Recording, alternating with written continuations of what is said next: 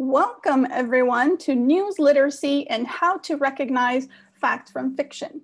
As social media users or influencers, we have a responsibility to recognize factual news before sharing it to our audience, friends, and family. We must educate ourselves to stop the spread of misinformation and instead amplify truth and facts. My name is Paola Mendez, and I am the founder of the Blogger Union.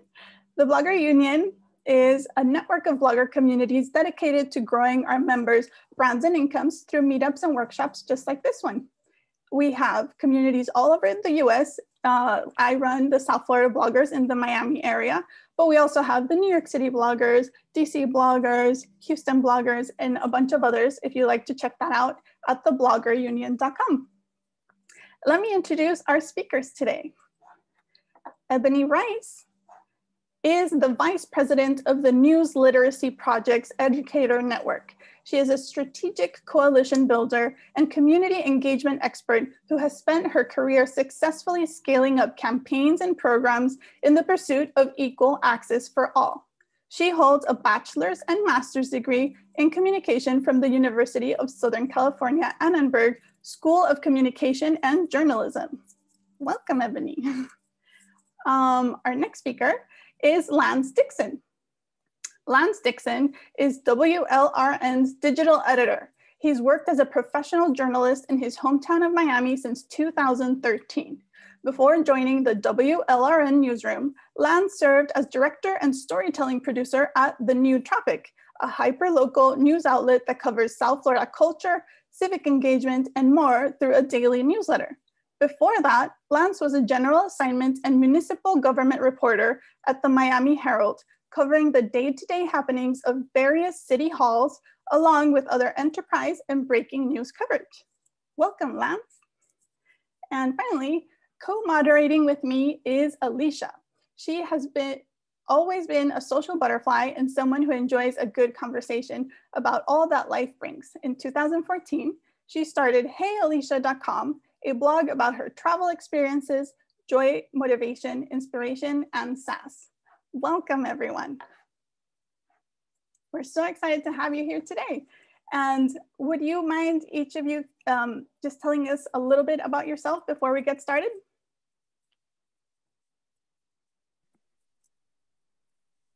And we'll start with Ebonee. Okay, awesome. Uh, good evening, everyone. I'm so excited to be here. Uh, thank you for joining us tonight. My name is Ebonee Rice, and as Paula said, I am with the News Literacy Project, and my work really focuses on mobilizing communities on the ground to build a local footprint uh, among educators to um, teach news literacy to students because we believe that news literacy is very central to a democracy and to civic engagement. Um, and so I'm really excited to be having this conversation today. Um, it's extremely timely and um, I'm looking forward to engaging with you all more as the evening progresses. Wonderful. Well, welcome. We're so excited to share this conversation with you. Uh, would you mind introducing yourself, Lance? Not at all, Paula. Um, I, uh, again, as, as, a, as you stated, I'm Lance Dixon, uh, digital editor at WLRN, and um, I have been working in news in Miami for, uh, you know, the past seven years or so, um, and grew up here uh, reading the Herald and so forth. And this topic is one that's really important to me, um, obviously heading into the election in less than two weeks, and just in general, um, a big thing for me is is trying to help make the news plain for folks and something that I've always been really passionate about in my work at the outlets I've been at so far. And so um, looking forward to getting into the conversation and hopefully helping to get through all the noise uh, that's out there so that folks can really help uh, inform their communities and educate themselves a little bit too. That's wonderful. I really found your um, voter guides that you did with the new tropic so helpful. So your work of making the news easy for people is definitely coming through. And Alisha, would you please introduce yourself and tell us a little bit more about yourself? Absolutely. Well, hi everyone. Again, I'm Alisha. Uh, like Paola said, I have been uh, blogging and influencing since about 2014. Um, I am raised in South Florida. I'm a Florida girl um, in Miami and Broward. Um, so I'm really excited. I'm really excited to uh, to be here and to, um, you know, talk about this. I think it's very timely. Um, I am a huge um, uh, curator of all different types of people. I like to talk about a lot of different topics, topics, politics being one of them, um, and just social causes and um, and just justice for everyone. Um, so I'm very excited to be here. You can connect with me at heyalisha.com. It's where I have all of my information. And thanks for having me. Thank you for joining us, Alisha. So tonight we will be speaking with Lance and Ebonee about how we can learn to become news literate. Additionally, they will share resources and tools in order for us as educators or parents to teach our youth how to do the same. So I think let's get started. Um, what is news literacy about and why is it important? Would um, Ebonee, you would like to go first? Sure. Um, I, I'll uh, kick this conversation off um, and then pass it along to Lance.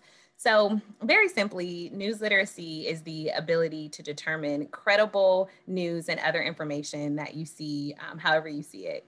And so, we believe that news literacy is really the cornerstone to a democracy, um, understanding the um, First Amendment and the right to free speech and free press. Um, we believe in protecting that. Um, we believe that in order to have a really healthy democracy, that the citizenry has to know how to um, pursue news literacy and has to know how to uh, determine what information is real and what information isn't real online, um, which is why I'm so excited about this conversation because our entire platform focuses on making sure that educators um, can teach news literacy to students. Um, again, because we believe that it's just so important and it's a life skill. Um, because we live in the most complex information landscape that we've ever lived in before. And so without news literacy skills, um, it's just really difficult to navigate. It's really difficult to be well informed. It's extremely difficult to be civically engaged. And so we provide resources and tools to help educators teach, but also uh, we provide resources and tools for the general public so that anybody who has a vested interest in news literacy um, can be engaged, can know the issues, and can be well informed and participate in our democracy.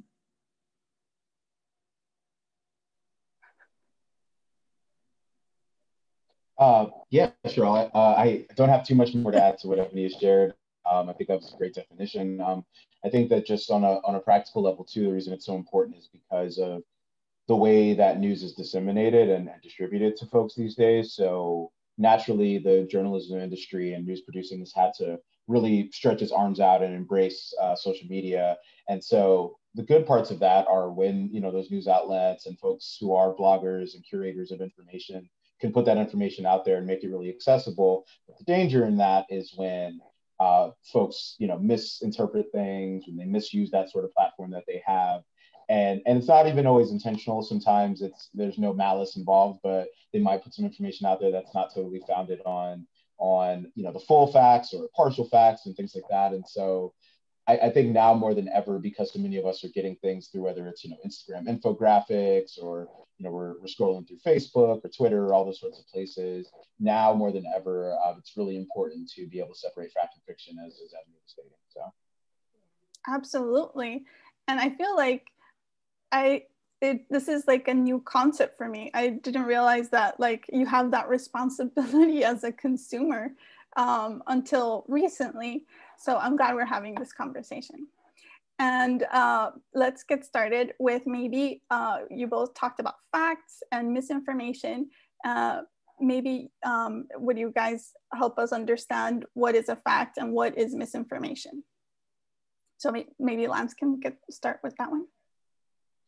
Sure. Um, yeah, I mean, so I think a fact is something that can be properly verified that there's like you know demonstrable like demonstrated proof of the information that's being presented. Um, i think that that part of what's made this such a sticky and tricky thing for folks is that opinion is often loud and it's often the thing that drums up a lot of emotion. But but fact is really what you have to you know stake your claim on and and, and really proceed with. And misinformation by that same token uh, you know like i was saying before like it's not always that people necessarily want to spread or put out misinformation. Uh, but but often if they're sharing things with the best intention, I mean, I think this has happened a lot this year as folks have shared information on ways to support causes that they're passionate about, or as protests sprung up around the country and things like that. There was a lot of misinformation out there. Not all of it was, you know, poorly intended. Some of it was just people who were really passionate and, trying to get the word out there. But have to be very careful that that you can verify what you're seeing. And so that's that's where that kind of dividing line uh,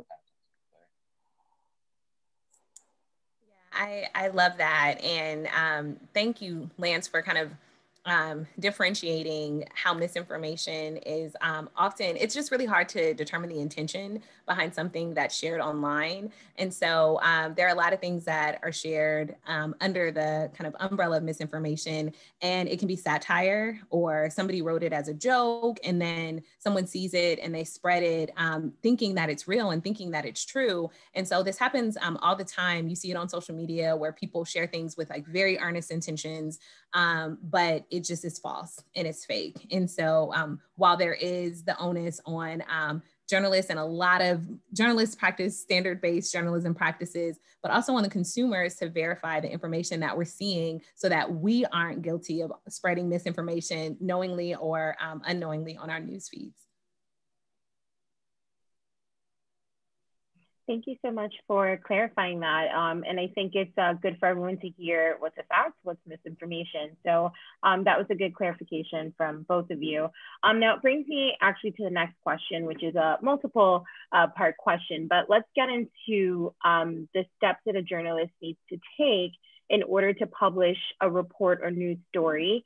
Um, what are the specific steps or standards that all journalists are expected to follow in order to verify their sources or fact check?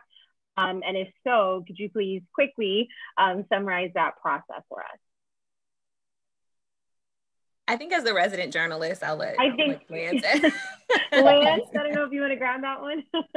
uh, no, it's totally fine with me. Uh, so um, yeah, I mean, essentially, it's a it's a sort of fact finding operation in a lot of cases. So we hear about a story, we hear about a potential issue, we hear about something that someone has brought to our attention, and then our next step is to okay, how can we figure out what's actually going on here? Eh, you know, it kind of goes back to what I think a lot of folks understand with the you know the five W's and, and H. You know, just who, what, where, when, why, and how uh, something happened. Uh, but obviously, it goes a bit beyond that uh, with the ways that technology and like our sort of digital landscape happens. So sometimes it can take a little more work than just the sort of basics. But yeah, you know, you you, you get a tip or you get um, some information presented to you and you pursue it. Um, you you know you reach out to sources or the folks who are most directly impacted by the situation and try your best to verify what they've shared um, to sort of pull out again from that emotion because I think sometimes when folks you know hear about something they'll just you know we'll take the election for example. They'll say oh this is voter suppression because blah blah blah happened at my polling place. And it might just be that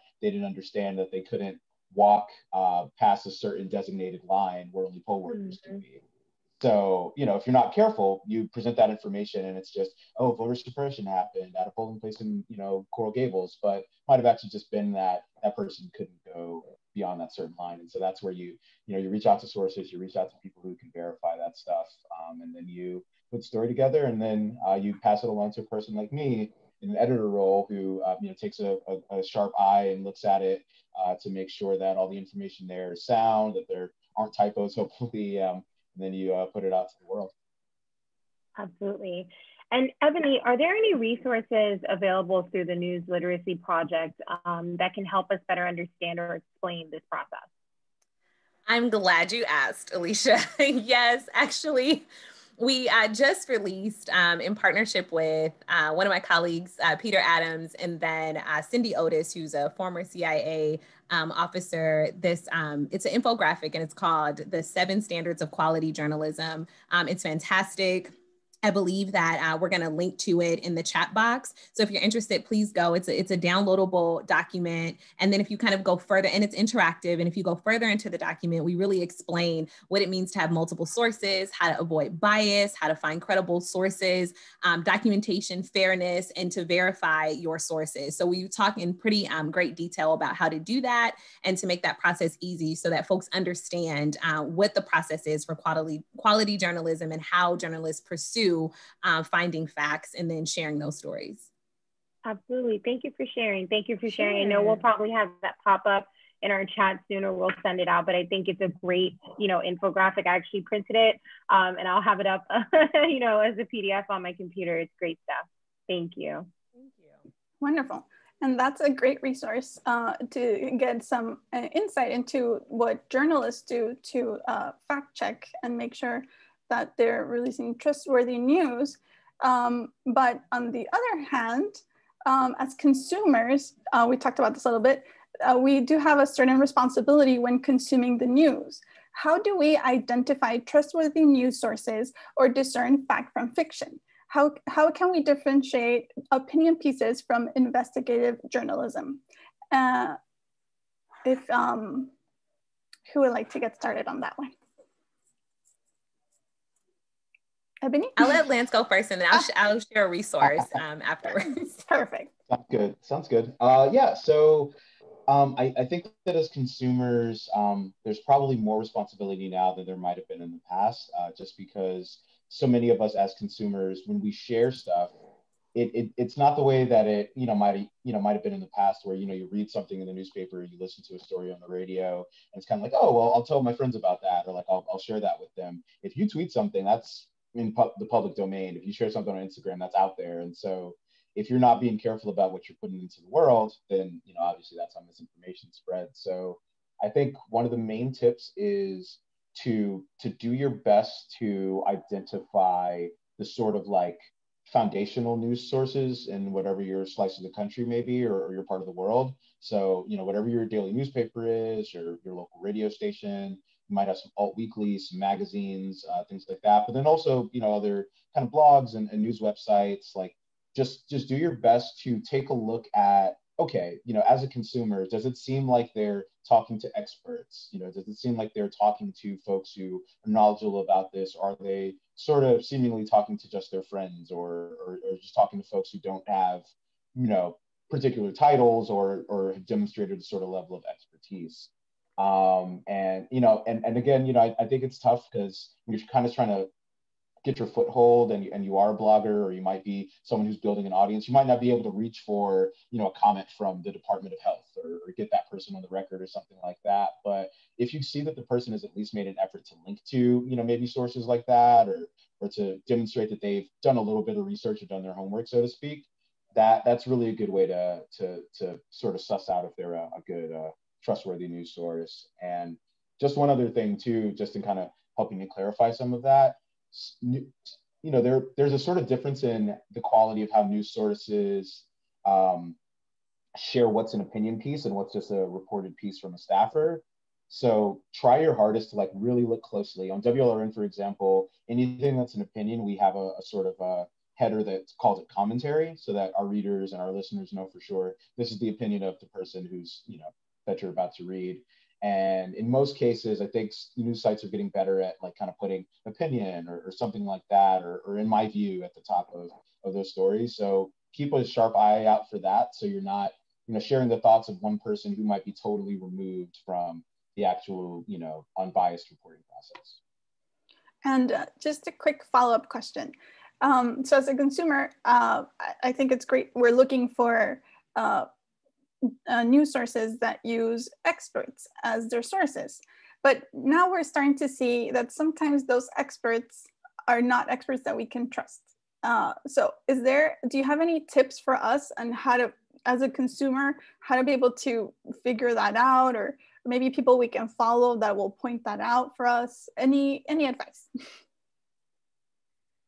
So at uh, the news project, we have this resource that is probably actually my favorite one. Um, I use this in my personal uh, life, and I encourage other folks to use it as well. And it's targeted for the general public, and it's called uh, Sanitize Before You Share.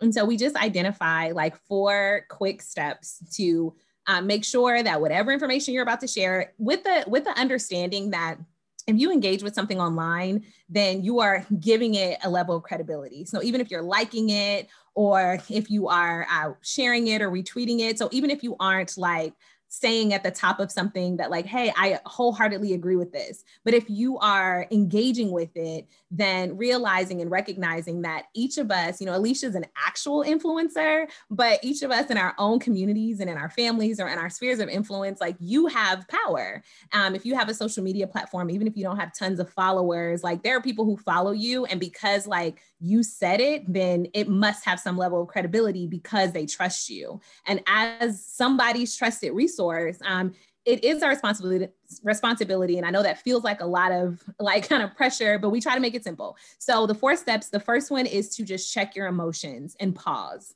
Um, and this is really important because a lot of times how misinformation spreads is it really comes after your most sacred values and your emotions. So um, it seeks to make you really riled up about something, to make you really angry, um, to um, attack something that you hold very dear. Maybe it's your patriotism, your religion. Um, some kind of sacred value that you hold. And so, one like really quick thing to do is as you're like looking at something to think about, um, like, I read this and it like angered me or i saw this headline and i thought that was like deplorable whatever the case may be. And like take a moment before you share because you're like i want everybody to see this awful thing that i saw so we like never support this thing again. Um, to just take a minute and pause. Open it um, if you choose to and like kind of engage with the content to see like is the point of this content to make me angry?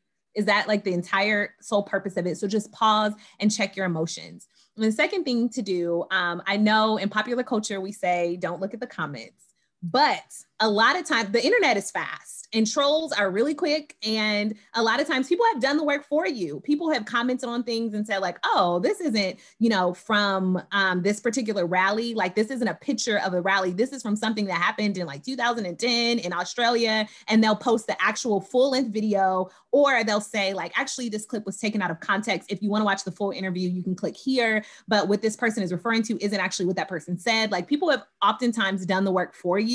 So, I would suggest not going down a rabbit hole, but taking a look at the comments, glancing through them, and seeing if somebody has posted an actual verified source that you can go to to get more information about this topic that just caused some kind of um, emotion out of you.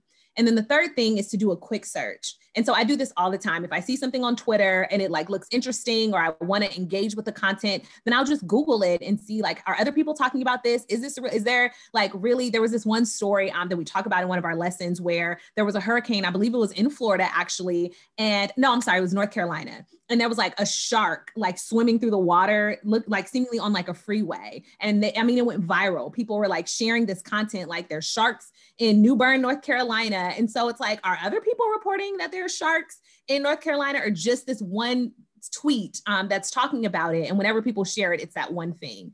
And then the final thing um, is to like ask so there's often times where um, if you want to know where somebody got something from, if they, you know, write a statistic as their Facebook post or as their um, tweet, and you want to just like respond and say, hey, where'd you get this statistic from? Like that's perfectly understandable. That's perfectly acceptable, especially in the context and the society that we live in. Um, people do it to us all the time. I feel free to always do that so you can make sure that you are checking your sources. And all of this takes seconds um, just to make sure that you are taking responsibility for your newsfeed and you aren't spreading um, information that isn't true any further.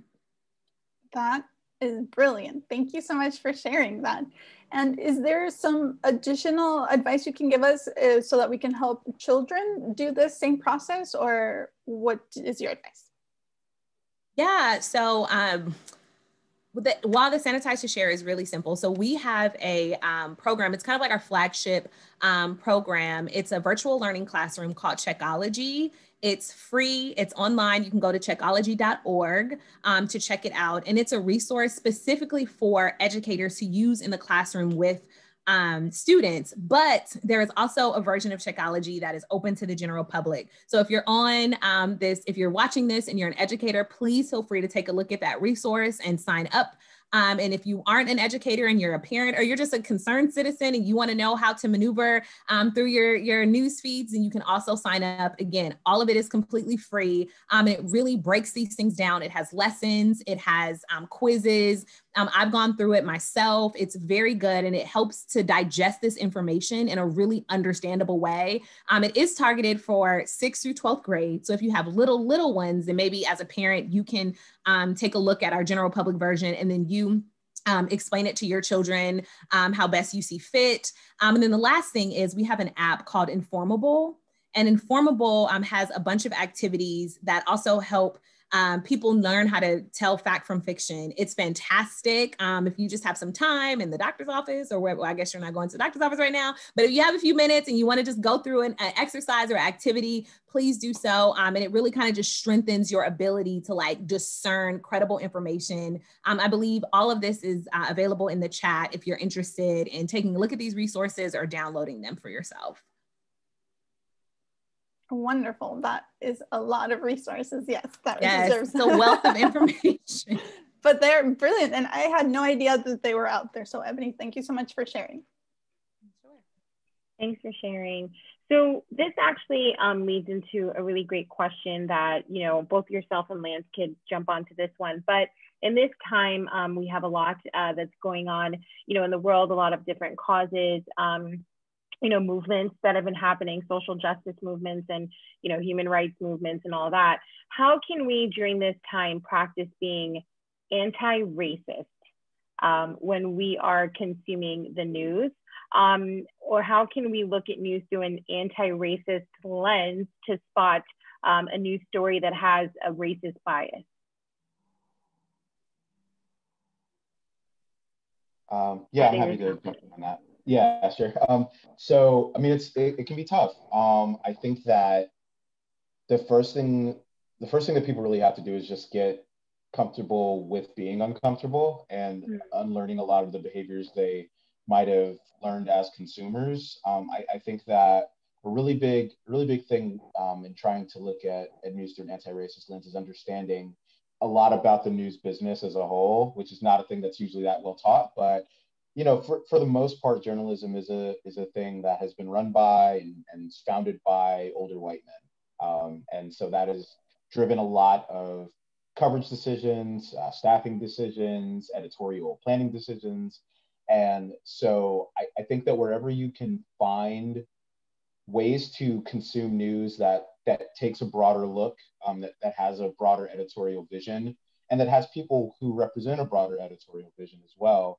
um, you should try your best to seek those out. Um, and also, you know, just just recognize what you're seeing when you see certain language that might, on its face, seem like relatively familiar, but can in many ways be coded. So, you know, when we when we talk about Middle America, or we talk about you know voters who are from you know rough neighborhoods or things like that, a lot of that is coded language that, in, on one hand, either can mean generally just you know white voters or white Americans, or it can mean uh, people of color and, and and black and indigenous people and, and and people of color writ large. And so, yeah, I think just really taking a very close and careful look at, at the things that you're seeing. Um, and, and trying your best to you know just do the, the research beyond that. I mean, I know that there's obviously a lot of great literature out there about you know practicing anti-racism in general and just in our day-to-day life, but there's also a good amount of, of that literature as well uh, when it comes to consuming the news uh, through that lens. And so uh, I'm sure that Ebonee might have some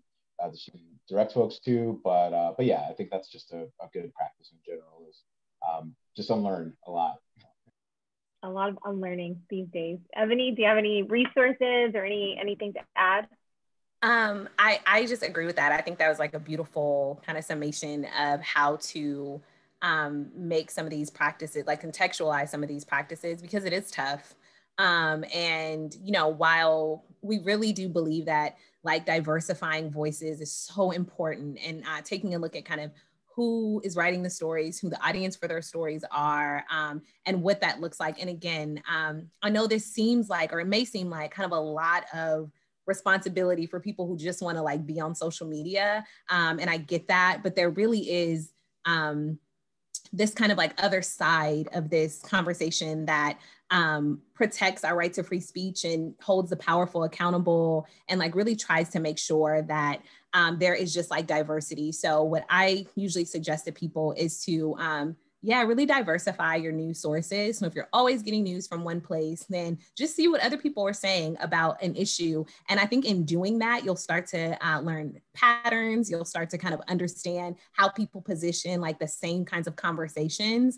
Um, and like it'll really kind of help you to hone in on certain um, aspects of journalism that you may want to follow like certain journalists and, and unfollow other journalists. But I think it's really important to um, just diversify uh, the voices that you allow to inform you. Um, and then you can make a really informed decision about what you're going to choose to believe and what you're going to choose to share um, and whose advice you're going to um, choose to follow and all those kinds of things. Um, we do have a resource, as a matter of fact. So on Checkology, there is a really, really great, um, it's probably one of my favorite uh, lessons. It's called um, Understanding Bias. And in that, we talk about well, I don't, but there's a wonderful journalist um, who talks about um, how to spot bias in the news. Um, and it's really great. It's really easy to digest. There's a quiz at the end to like make sure you understand it. Um, and it's just fantastic. Like when you go through it, you'll really understand kind of how certain things happen because we know that um, journalism is still an area where we're like really pressing for equity and, and pressing for, um, as I keep mentioning, like diversity of voice. And so it, it helps you to understand and spot uh, some of the areas in, in which like journalism hasn't always been fair, like how things can be slanted and bent and, um, you know, uh, exaggerated and so on and so forth. So um, I would encourage you if you're interested in um, anti-racist education as it relates to journalism and as it relates to um, practices on your social media to uh, go through that uh, lesson on Checkology. It doesn't take long, but it's extremely informative. Our team, um, our education team spent a lot of time like really understanding trends along with the journalists to really kind of um, hone in on what's really important when it comes to this conversation about bias and how to um, understand and like really like destroy some of those, those concepts that create uh, biases in uh, news media. Absolutely. And I appreciate you for sharing that. I think that, um, you know, as consumers, you know, we can't alter the way the news is delivered to us, but we can at least be more critical about what we read and how we interpret it and also what we take in. Um, and, and I think that sometimes that's called um, being a responsible uh, consumer, if you will. Um, so I actually think that that's really important. Thank you for sharing. Now it leads me to my next question, um, which is, can you share, um, I know you've shared, we've shared a lot of resources and I know it might be an overload, but I think they're fantastic. But could you share any websites or social media accounts that we can follow in order to become more news literate ourselves? Um, or uh, any accounts we can follow that would benefit the youth to be more news literate?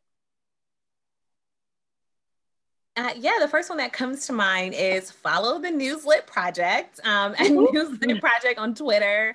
Um, and we also have um, some other accounts that we follow um, and that we share information from all the time, um, where you can kind of, there's journalists that we follow and you can kind of see it from our Twitter account and you'll be able to like go through our list and see what are the uh, credible voices that we follow and that we retweet and share. Um, that information is also on our website. You'll be able to see some of the organizations and some of the partners that we work with to make sure that um, we are doing everything we can to spread uh, the message of news literacy education. Uh, so the most paramount uh, account would be Newslit Project on Twitter. Um, also visit us online at newslitproject.org, but we do a lot of tweeting, so follow us there.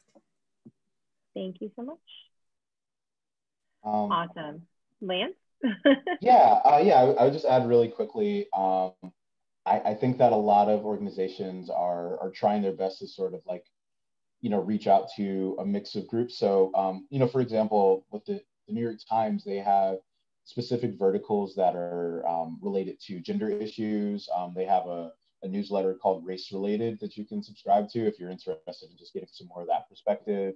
Um, and i think they just launched uh, either today or yesterday a NY, nyt kids account on instagram. So oh, wow. uh, so yeah so you know i know we've a lot of this is focused on educating you know uh, resources for children and, and young adults and so forth. So um, yeah, so I mean, I, I, think that some of those uh, are, are, good places to start. Um, and, and, as far as just other organizations that kind of take a, a, a look at this from a, a, bit of a remove, but like try to make it understandable for folks. Um, if you're really like trying to figure out fact and fiction around like political news or the election, PolitiFact is a great one to follow. Um, they're based in Florida.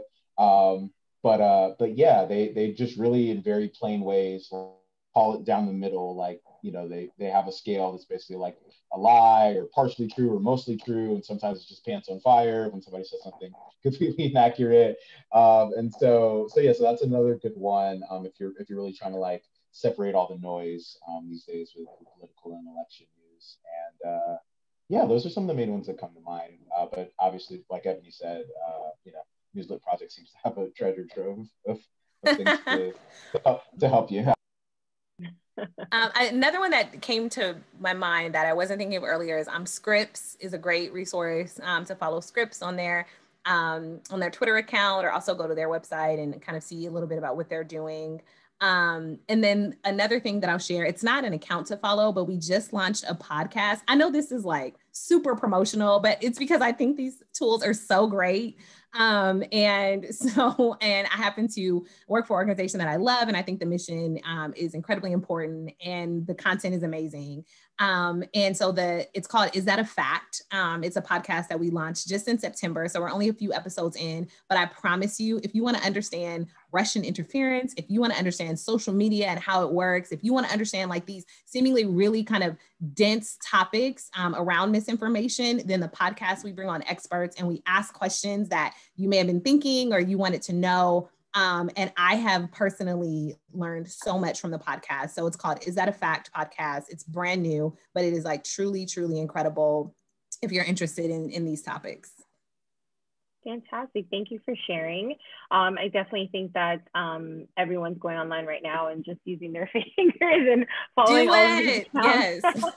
uh, following all these accounts. But I think, again, it's great for you to share that. Um, definitely during these times, it's good to have reputable resources um, and be able to differentiate, again, fact and misinformation. So I think it's really important. Uh, which leads me to my next question is, you know, what does someone do or what are some ways um, that we as the consumers can voice our concerns or criticisms about how a news story was delivered to um, journalism or media outlets. I don't know if Lance wants to tackle that. Sure. Um, yeah. So, um, you know, Ebonee mentioned earlier, um, read the comments, and it's something that journalists go back and forth on. But I'm a I'm a strong proponent of of reading the comments and responding to the comments, unless they're totally off the handle or offensive. Um, then that, there are other methods of dealing with that, usually blocking. But um, I say all that to say, um, you know, you can you can voice that in the comments um, because folks are checking that a lot more. I mean, we have a at WLRN, uh, myself and uh, our engagement editor work a lot on kind of sifting through social media and making sure that we're like having a conversation that's not just like a one way sort of thing where we present information and then just disappear. So um, that's definitely one method.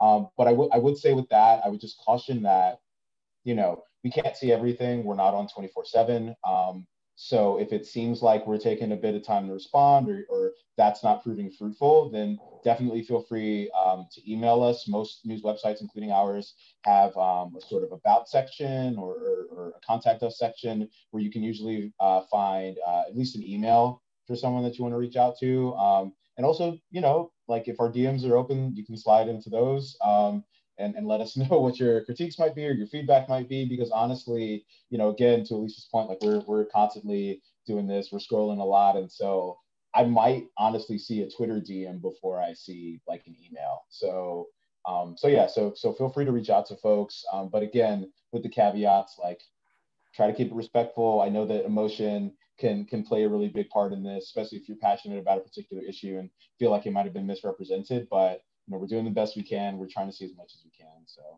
yeah. Thanks so much. Thanks so much.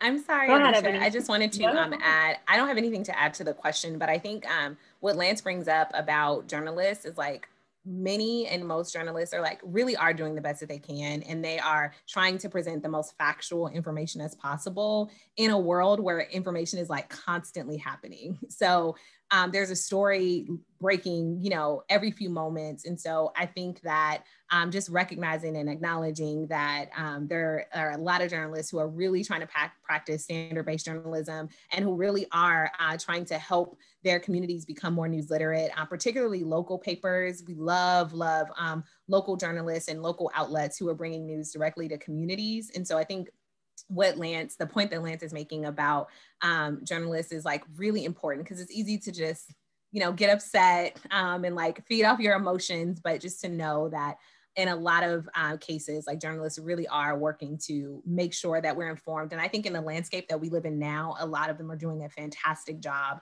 um, of keeping us on top of COVID 19 and the election and like a, a, pandemic and like a you know racial uprising and all of these other things that are happening um, that they're talking about all at one time. Absolutely. It's a lot happening all the time. Um, so I can imagine. I actually uh, the other day was thinking, wow, like I wonder to be a journalist right now, there's there's so much going on. It's like it takes you almost away from the investigative side of, you know, being a journalist and presenting news stories and it's just constant information. So that's really good to know that we can always reach out. Um, and then the next question is how can we use our social media influence to affect social change and educate our followers on news literacy? Um, I think very, very quickly uh, on that to recognize that you have a voice and to feel empowered to share information that you have verified, that you feel very strongly about, uh, to make sure that you are doing that as often as possible to your spheres of influence. I think one of the beautiful things about social media that doesn't always get you know talked about as much is that um, it allows people to reach whomever. Like now, any of us have access to like reporters like Lance, and any of us have access to tools and resources and people that we may want to um, find out information from or get in touch with. Um, but we have this really beautiful and unique um, ability to share our opinions and share share our voices on the internet. And so I think not taking that for granted and just doing anything. Um, and then as far as educating on news literacy. Sharing information that you come across and making it really digestible for your community. Uh, one of the things that we just launched at uh, NLP is this ambassador uh, program that I'm very proud of. And a, a, part of what it is, it's like um, using educators that are in communities on the ground to help us build our local footprint on the ground. So we want uh, them to kind of bring the message of news literacy education into their communities, but to do it in their own way, in their own language, like however you know best to like reach Miami, whatever that looks like like however you know new yorkers talk like we're a national organization and we aren't in you know every single space and so however whatever conversations need to be had uh, to do that in a way that makes sense for your community to be um, to contextualize these conversations to make sure that they're culturally competent um, and speak to the people that you speak to. You have an audience and people um, trust what you say, I believe it or not, and want to hear from you. So share resources that you find, share information that you find. You see something that's interesting and helpful, by all means. Um,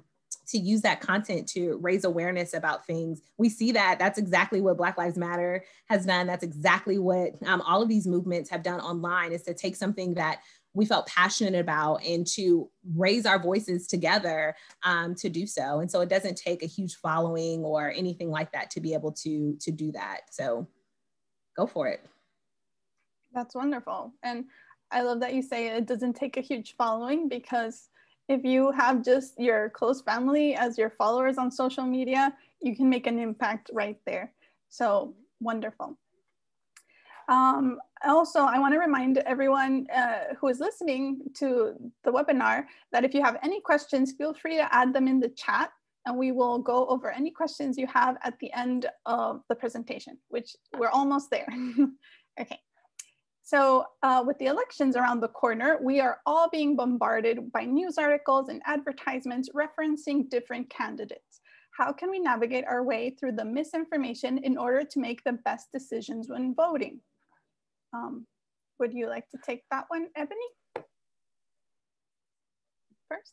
Well, I think Lance has a fantastic guide that I'm particularly interested in, but I would love to hear him talk about it if you don't mind, Lance. Of course. I, I do not mind at all. Um, if you head to WLRN.org right now, or specifically to WLRN.us slash election 2020, um, you'll find our voter guide. Um, and that's just a, a little quick plug, but more broadly, um, I think that you know we've been talking a, a lot about news literacy and, and reaching out to um, and and searching out uh, trustworthy news sources, and I think that's going to be your best bet. Um, you know, Ebonee has talked about this a lot, and we've t- touched on it a lot tonight already. That these ads, um, YouTube ads, these mailers in your mailbox, um, text messages, all this kind of stuff is designed to get an emotional rise out of you, and that's not always based in it's not always based in like truly truly like vetted fact. Like in some cases it might be a little misrepresentation of something might be citing an article from 2014 you know all these sorts of things. And so one big thing for sure is like check the fine print. Um, and if you notice a, a lack of fine print or a lack of citing any particular source that should immediately raise a red flag for you. So that's that's a big one for sure. Um, and and then again you know i think just like seeking out those sources and seeking out those voter guides and those election guides that kind of just you know spell it out very plainly like here's what this vote a vote on this will do. Here's what here's where this candidate has spoken about the issues et cetera et cetera. I mean if, if some of you hop off this webinar later tonight and watch the debate later like you know try to find sites that are doing fact checking. Um, npr will be doing that um, new york times washington post uh, the Miami Herald, if you're in South Florida, a lot of these places will have stories coming out or, or live blogs going along with the debate to kind of help to separate that fact from fiction. Um, so, so seek those out wherever you can. And remember again that like, if you feel like an emotional response to something, somebody probably did that on purpose to manipulate you. And if you can't find a way to verify some of the claims, um, then that's probably like a, a, tricky sign. That's great. Mm. Thank Yes, thanks so much for that. Um, and as we kind of wrap up, I would really love to know, and I'm sure uh, our listeners would love to know as well. Can you share a little bit about um, both of you about how you ended up doing the work that you do, uh, and also how can our viewers support your work uh, and organization in the future? I was trying to add our uh, election PSAs in the chat, and I just like completely mm-hmm. fumbled. Um, but I'll make sure that those are in there. They're just 15 to 30 second um, videos really quickly about um, the election. Um, it's nlp.org and then there's like a election 2020 PSAs, um, but I'll find that direct link and I'll add it in there. Um, okay, so the work that I do, so by by background, um, I am a coalition builder at heart. Um, and I love community engagement. I think it's extremely important in connecting issues to real people in real time. And so um, my background has been doing that for a number of different issues. So formerly I worked for the Affordable Care Act and uh, for a nonprofit organization. And we um, educated people on how to sign up on the marketplace, on um, what was in the law. I mean, this law is like hundreds of pages and how people can understand what this, these, this hundred page document means for their everyday life.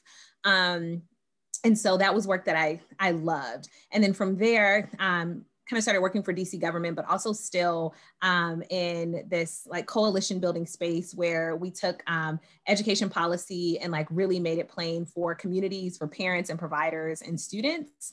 Um, and then most recently at the News Literacy Project, um, I'm kind of continuing that pattern and uh, mobilizing educators on the ground to really, really kind of rally around news literacy education. And there are a lot of educators that are already doing this work, and we want to just support them and come alongside them.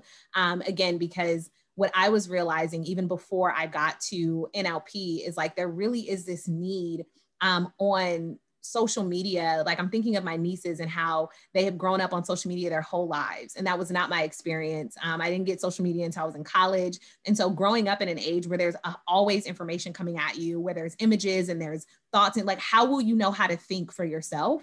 And so one of the cornerstones of our work is teaching um, educators to teach students how to or excuse me yeah how to think not what to think. So it's like how to investigate and, and not to be like suspicious of everything but to question things and how to use your own mind to investigate uh, information that you see because the information landscape is incredibly complex and because there's constant a constant bombard of information coming at you at one time. And given the world we live in now, I just could not think of a more worthy cause to um, rally for. And so I love this work. Um, I love protecting the cornerstone of our democracy. Um, and I love um, being able to rally educators and communities around news literacy education because I just believe that um, without it, our uh, society will suffer greatly. So, yeah. Um, yeah, I'll, I'll, I'll, keep it relatively brief. Uh, the short answer is that I'm nerdy and nosy. Um, so that's just how I got into this. But um, but in all honesty, um, you know, I've just I've always really cared a lot about the news, and once I kind of got into it, I I, I started writing for my college newspaper, um, and that's kind of where the bug first bit me. And um, just continued from there, and I continued to study it and graduate school for it. And so once I started working full time at the Herald um, as a reporter and really working in like local government and, and covering local community news, um, from then on, I was kind of just like, okay, this is it. And like, what I really want to focus in on and hone in on is like making things plain for folks as much as I can, like, you know, just right here on like the street and the communities that I drive through and like the neighborhoods that I pass through and so forth. And so that's continued to kind of inform my career tra- trajectory to this point. And uh, yeah, I, I'm not tired of it. So. Awesome. Thank you both so much. I think that wraps it up. I think Paola, you might be on mute. There we go. Thank you. Thank you so much. This was a great conversation. Those were all the questions we had ready for you, but we do have a few questions from the audience. And we're going to start with Jordan. They ask, what can I tell my parents who are much older that yes, the media can be fake sometimes. However, not everything online is fake news. My parents think that racism is only still bad because the media is making it seem bad. While I know this is not the case, it is hard to know what the best thing is to say to them so they understand what I understand.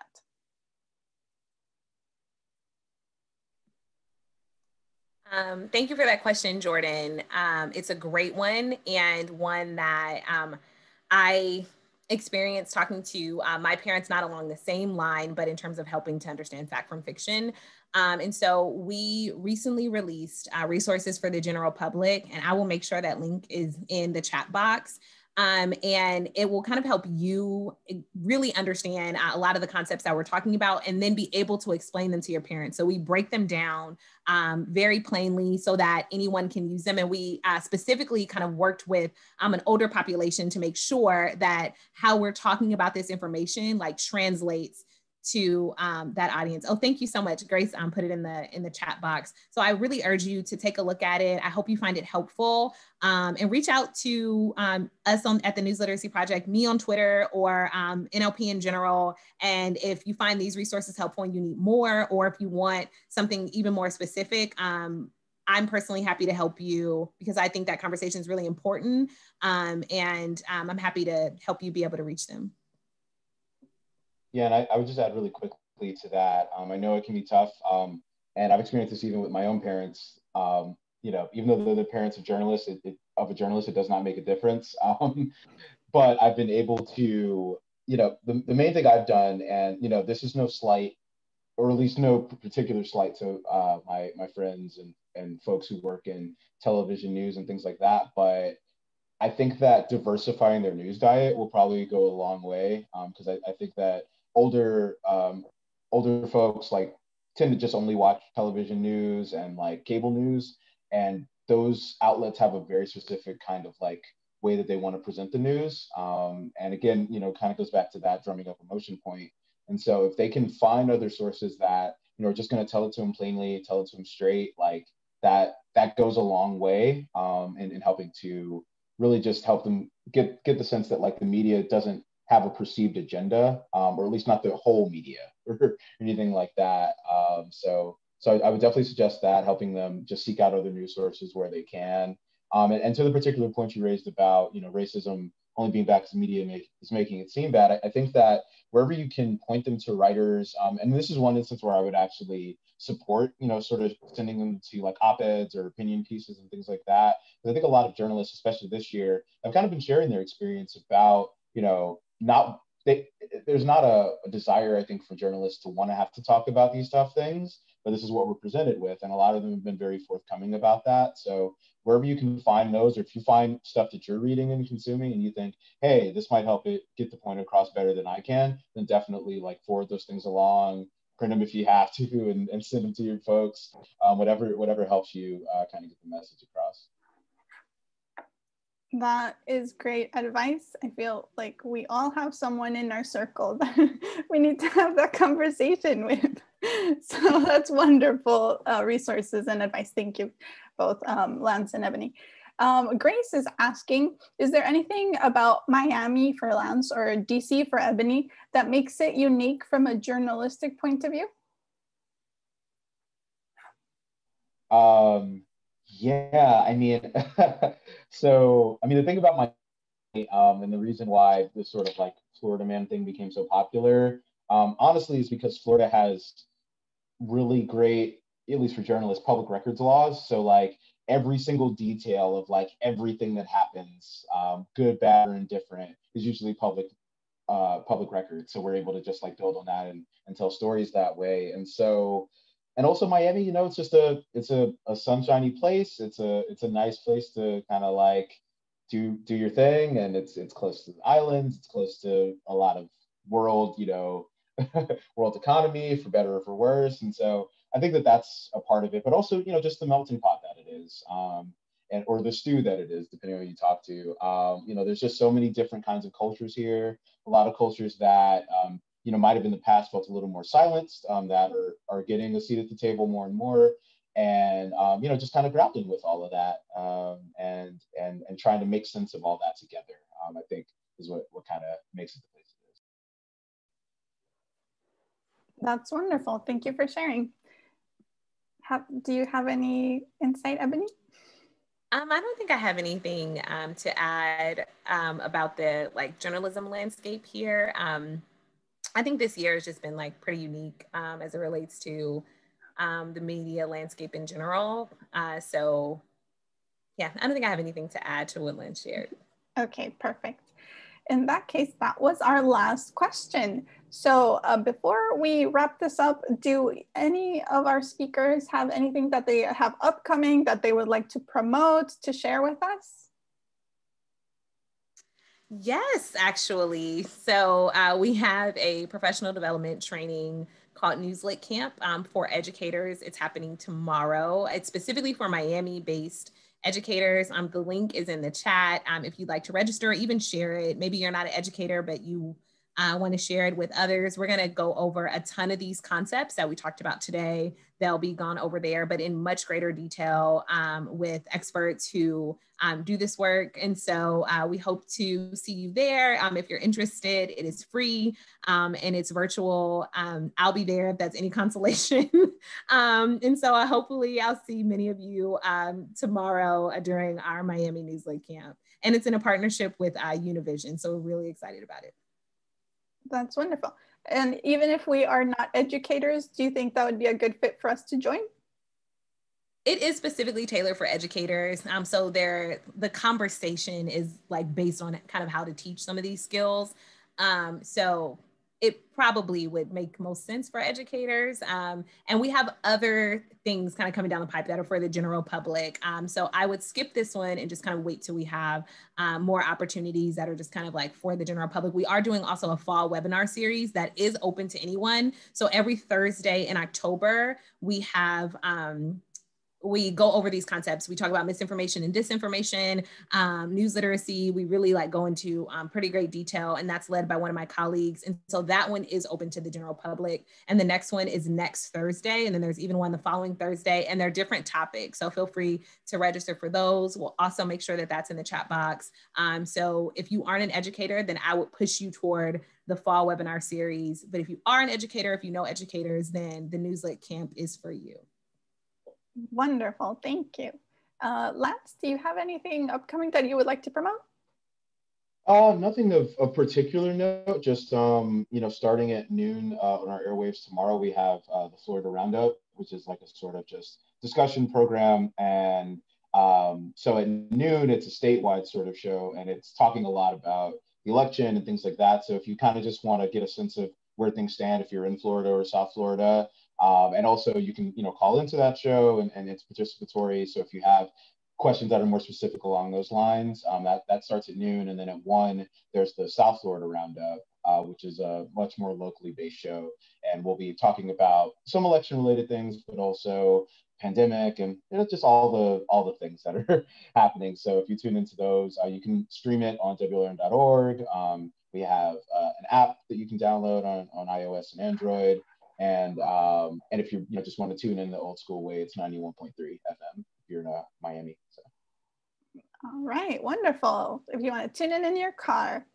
Um, and uh, Alisha, do you have anything you'd like to share before we wrap up to promote? No, I just encourage everyone to get involved and use all of the resources today. Um, again, I typed it in the chat earlier, but you can follow my blog at heyalisha.com, um, connect with me on Instagram, um, uh, uh, Twitter, Facebook, all of the above. I'm, I'm connected on everything. I think I have a Twitch. I don't really use it, but um, I'm connected on everything.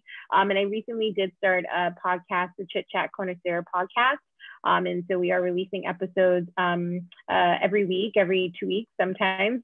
depends on how, how life is going at the moment. But I definitely encourage you all to connect. Um, I love to have guest speakers. I would love to have Ebonee on one day or Lance on one day to just talk about a multitude of things um, that I believe are important and, and just sharing our um, common interests. So that's all for me. Wonderful. Subscribe to her podcast. And okay. for those, uh, we have a few people who just joined us. Um, maybe the time change. we will be uh, sharing this uh, re webinar replay via email um, if you registered for this webinar. And we will also be posting it on our YouTube channel um, so that you can go revisit there. We will also on the description share all of the links that we mentioned during the discussion. And that's it. Thank you so much, um, Ebonee and Lance, for sharing all of your insights with us today. I, it was very um, uh, educational and I learned so much and uh, I really appreciate you taking the time to join us. Thank you so much for the opportunity. It was great chatting with you all. Um, and yeah, I look forward to seeing you at some of our upcoming events. Yeah, thanks so much for doing this, you all. Um, I hope it was helpful. It definitely was. Well, thank you so much, everyone. We will have a new webinar coming up next week um, and we will be sending an email with all the details. Thank you also Grayson and Chris for helping us in the chat behind the scenes and Alisha as helping as a, a moderator. See you next time. No Bye everyone. Bye. Bye everyone.